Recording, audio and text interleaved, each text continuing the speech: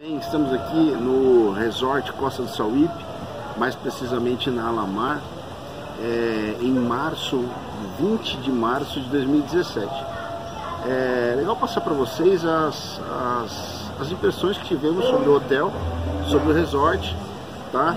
É, são várias alas, nós estamos aqui na, na Alamar, existe a ala terra, a ala água, a ala prêmio e mais algumas outras alas. O interessante da Alamar que nós vimos aqui é que bem ao lado tem o Sawip Kids. Então quem vem com criança é legal porque você já pode deixar seus filhos ali. Tem monitores das 10 da manhã até as 10 da noite.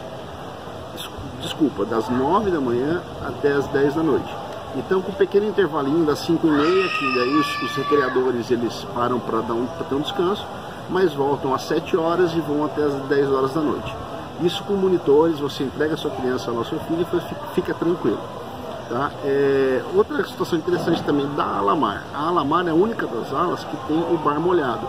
Então você vai chegar na piscina, ali na piscina, você vai estar tá, é, diretamente no bar. Então aqueles que, estão, que adquiriram o All Inclusive, você vai estar tá direto na piscina direto no bar ali com a atenção de duas ou três pessoas servindo você. Agora as impressões negativas. Que tivemos impressões negativas, claro, o custo-benefício do hotel é muito bom o preço cobrado em relação aos outros resorts aqui de perto, é, Grand Palladium, é, o Iberstar, é muito mais baixo, tá? então o custo-benefício é legal. Agora, as impressões negativas foram realmente, é, é, um, é um resort muito antigo, tá? as instalações, claro, não deixa a desejar, mas existem algumas situações que você vê que é um, um, uma instalação antiga, né? mas isso, isso até você pode relevar, claro, existem alguns hóspedes que vão reclamar. Mas o que foi mais negativo mesmo foi em relação à comida. É, primeiro, acho que a gente não se adaptou muito bem por causa que não havia tempero. As pessoas falam, ah, a gente vai na Bahia, o tempero vai ter problema. Não, aqui não existe tempero, então você não consegue ter, ver sal, é, uma pimenta, mas não tem. Então isso vem até diretamente na, na, na, mesa que você está sentando para tomar café da manhã, ou jantar, ou almoço, você tem ali na mesa sal e pimenta do reino. Tá? Então, é, o que nós sentimos muito foi essa situação. Então, no terceiro, quarto dia, nós já estávamos assim, é, não queríamos mais saber da comida, a gente estava comendo basicamente a pizza do, do, do, do tanto na janta quanto no almoço. Né?